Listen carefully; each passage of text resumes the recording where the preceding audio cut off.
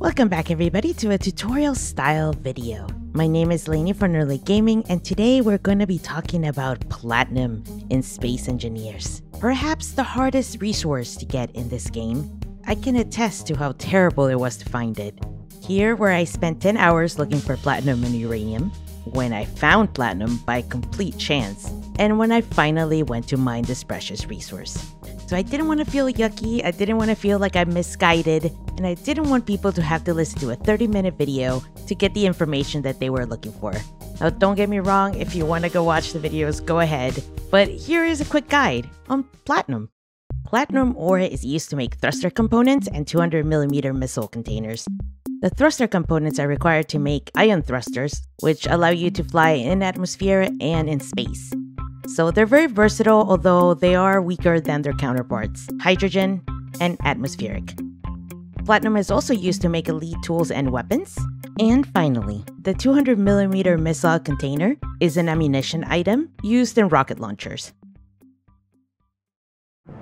Well, after painstaking research, I can guarantee you that you can find it in asteroids. Now, that might not be much consolation, especially if you've been sitting up there looking through them for hours like I have. If you are going to search for platinum in asteroids, I would really recommend getting a large ship. Platinum can be found really far away from the surface, making it really hard to detect with small detector. Now, platinum can be found on the moon. As a matter of fact, if you start a new game, go to custom game and select moon base as your start, you will be dropped off in a moon station that has detectors out on the fields.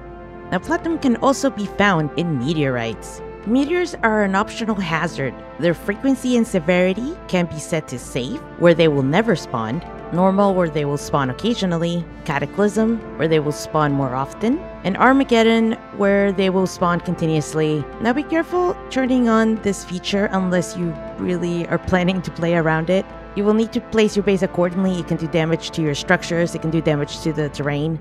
But when they crash, they have a chance to spawn a small amount of random ores in a crater, one of which could be platinum. But again, very, very small amounts. At last, there is one way to get platinum. It's not for the faint of heart. You can go to war. Yes, it is not the safest, but for the bold and the ready, you can harvest your platinum. Well, rather, you can harvest your components, arm yourself with the hydrogen fighter, and hunt space for this tasty iron treat. If I had to give any advice on how to get this resource, I would say make a large detector. Oh, there is nothing that will change your life more, that will make things much easier, that will save you hours, hours upon hours of headaches and pain than to make yourself a better detector. Other than that, it's just a matter of time search space. Try not to get too focused on it. I did it for a video because I really wanted to find that resource. But had I just been playing normally, I would have just let it happen eventually. It is rare, but it is not impossible, so keep your hopes up. I hope this helped in any way. Leave your comments, leave your suggestions, tips for anybody who might be looking for this. Thank you so much for watching, and I hope to see you guys in the next one. Until then.